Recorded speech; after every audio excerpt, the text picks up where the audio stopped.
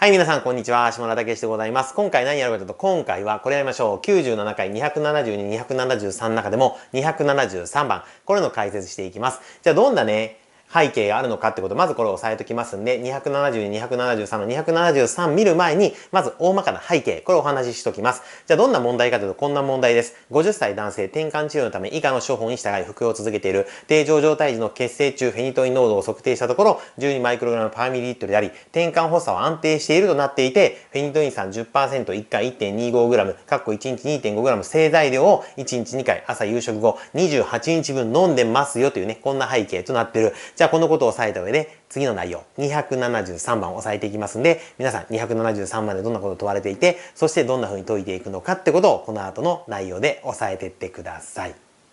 はい、じゃあ273番見ていきますが、この273番何の問題かというと、これ薬剤の問題なんですね。じゃあこの薬剤の問題なんですが、何を聞いてるかというと、この患者における最大消費速度、これを求めてくださいってですね、そんな問題となってます。じゃあどっから求めていくのかというと、今回この問題ヒントくれてますね。定常状態におけるフェニトインの体内からの消費速度は、ミカエリスメンテン式で表されるよって言ってくれてます。ってことは、ミカエリスメンテン式を使って、最大消費速度求めてくださいねっていうふうに言ってるという問題なんだということになります。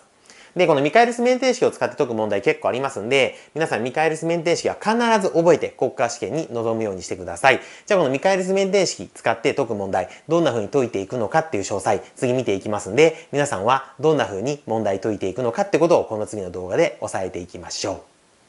はい、じゃあですね、解説していきます。じゃあ解説していくんだけど、まず何を覚えなきゃいけないかというと、これを覚えましょう。ミカエリスメンテン式。これは必ず覚えなきゃいけませんので、皆さんここに上がっているミカエリスメンテン式は必ず覚えてください。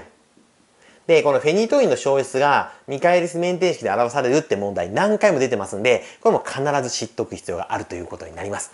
じゃあどんなね、構成になってるかというと、V は消失速度。Km はミカエリス定数。そして C は血中濃度。そして Vmax は最大消費速度となっているということですね。じゃあこの式持ってきたら今回求めたいものすぐわかりますね。これですよ。Vmax を求めたいっていことになるので、ここを求めるように数値入れていけばいいよねってことになると。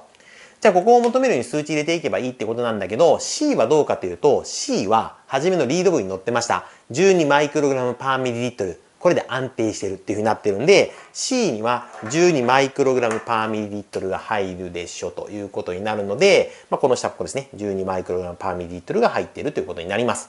で、KM はどうかというと、KM は条件文に載ってるんですね。KM というのは 8mg パーリットルと載ってるんで、条件を当てはめればいい。ってことで C は埋まる。KM も埋まります。で、求めたい VMAX ここに残ってるって状態ですね。で、あとは、どうかというと、あと V ですね。これを持ってこないと答えが出せないんですよ。じゃあこの V ってどうなのかというと、この V っていうのは消失速度で、今回の問題文には載ってません。じゃあこの V どうやって求めていくのかというと、この V についてはこのように求めていきます。定常状態では投与速度は消失速度と等しい。これ必ず押さえてください。定常状態では投与する速度となくなる速度は等しくなります。なので、消失速度をどこから持ってくるのかというと、消失速度を投与速度から、かな？投与速度から持ってくるんだよっていうふうになります。じゃあ、この投与速度、これを考えていくということなんですが、リード群に今回の患者さんは、どれだけ薬物入れ投与しているかというと、フェニトインを製剤量として 2.5g、1日あたり投与してます。で、このフェニトインなんですが、これフェニトインの濃度、これは10%なんですね。フェニトイン散の濃度ですね。これは10%ということになりますんで、10%かけると、どんだけね、フェニトイン含まれるかが求まります。なので、この患者さんは1日あたりフェニトインを 250mg 入れてます。で、今回問題にバイオアウェイラビリティ100%っていうふうに載ってるんで、体に入るのは全て入ってくると。投与したものは全てですね、まあ、血液中に移行していく。循環血中に移行していくということになるので、250投与したら全てが体の中に入っていくということになります。はい。ってことは投与速度はっていうと、これ投与速度っていうのは時間あたりの投与量ってことになるので、250mg を24時間で割る。そうすると時間あたりの投与量、投与速度が求まるということになりますんで、こうですね。消失速度というのは投与速度と一緒。じゃあ投与速度はどうかというと、投与速度というのは今回この患者さんはフェニトイン酸を 2.5g 入れてるんですが、それは10%差になりますんで、フェニトインとして 250mg、これを投与してる。で、これ 250mg 投与してるんだけど、1日あたり 250mg 投与してるということで、24時間の、24時間あたり 250mg 投与してますよと。で、この 250mg はバイオアベレビティ100%で全て入ってくるよということになりますんで、この数字がそのまま投与速度になると。で、この投与速度が消費速度と同じということなので、この数字を入れといたら、あとは計算で Vmax を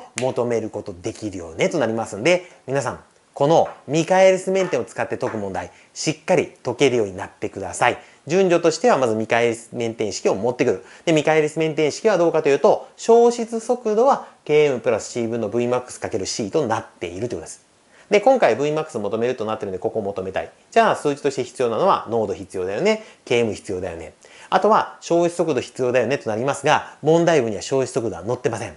じゃあ、どうやって消費速度を持ってくるかというと、この消費速度というのは、投与速度と一緒。なので、投与をどんだけしているのかってことを確認して、投与速度を求めて、そしてこの消費速度のところに当てはめていくと、Vmax が出るよとなりますんで、皆さん、このミカエルス面定式を使う計算問題、これをですね、97回の273番。これをちゃんと把握することによって自分のものにしてください。それではまた。